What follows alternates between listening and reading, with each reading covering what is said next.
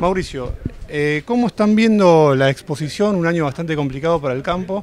¿Cómo ven el humor tanto de los productores como de las empresas?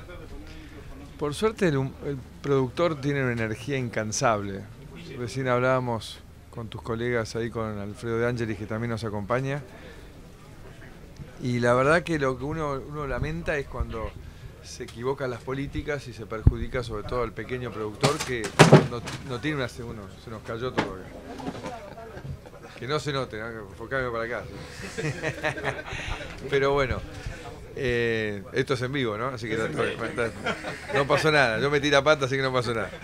Pero bueno, la verdad es que eh, por suerte el campo no se cae como se cayó esa, esa mesa, sino que sigue batallando a pesar del cepo, las retenciones, eh, el, cierre de exportaciones, pero algunos no, pueden seguir con este sistema, ¿no? y que son los pequeños productores, que hemos perdido más de 60.000 pequeños productores por todo el país, estamos con la producción de leche de hace una década, la producción de trigo de hace casi 100 años, hemos tenido problemas para exportar maíz, lo primero que tuvimos un problema fue para exportar carne, cerramos cientos de frigoríficos, eso fue decenas de miles de puestos de trabajo perdidos.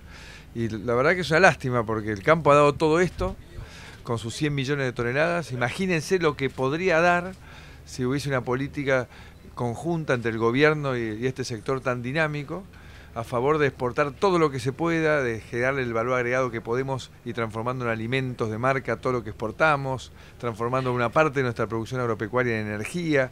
O sea, hay tanta cosa para hacer que hoy se está desperdiciando y encima como decía Alfredo recién, los dólares se los llevan, ¿no? Eso para llevarse los dólares del campo, el gobierno está siempre listo, pero ha dañado mucha economía regional, mucho pequeño productor que ya no se va a recuperar y eso es algo irreparable, imperdonable, porque son todos esos pequeños pueblos los que lo sufren, ¿no? Y un año electoral como el que viene, este, ¿cómo creen que, que afectarán las elecciones?